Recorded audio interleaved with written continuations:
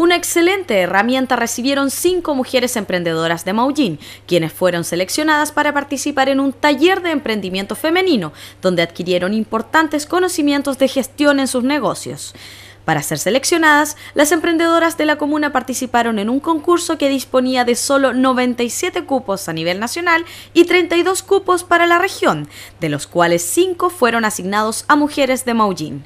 La encargada de la Oficina de la Mujer de la Comuna, Marigen Hernández, entregó detalles de esta iniciativa. 15 eh, postuladas en la comuna, 5 fueron las favorecidas y eso nos llena de orgullo porque el cupo en la región era para 30 personas y que de 30 tengamos 5 en la comuna, eh, yo creo que es muy alentador. Entonces el llamado aquí es a que cuando salgan estas instancias las tomen, aprovechen porque son instancias eh, gratis. Esto está evaluado el curso entre 300 a 350 mil pesos por persona.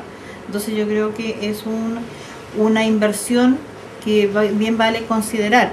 Eh, no solamente la inversión económica, sino que la inversión que se hace en torno a la persona, porque a ella es una instancia muy enriquecedora.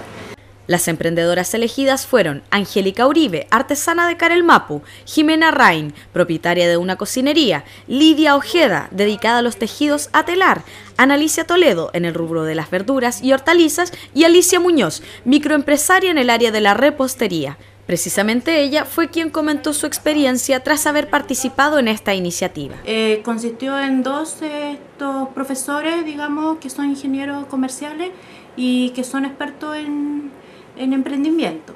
Eh, fue un curso muy práctico, eh, con mucha experiencia, porque como fuimos mujeres de distintas, distintos rubros, digamos, entonces nos sirvió mucho, mucho para aprender, para saber qué, qué, lo más importante. Por ejemplo, yo aprendí que lo más importante de un negocio son los clientes.